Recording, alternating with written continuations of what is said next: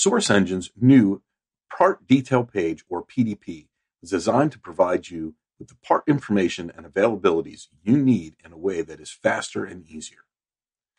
First, you can submit an RFQ right here at the top of the page, even as you scroll down to review the offers.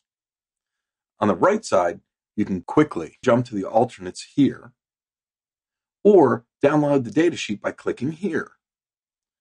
On the left, we have the product image, the lifecycle status, the RoHS compliance, the description, and the part category.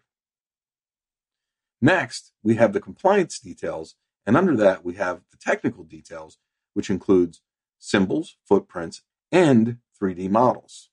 Moving back to the center, this is where you can see the offers for your part, where you can add them to your cart and purchase them right from here. Moving down, you can see we have some bid options for this part. You can put in your requested quantity and the price you're willing to pay, and Sourcengine will work with the supplier to get your bid accepted and provide a quote as soon as possible. Next, we have alternate parts that have offers associated with them. Then we have a list of all of the alternates for this part. If you have any questions about the new PDP page or Sourcengine, please reach out to us. And remember, Sourcengine is always free to use.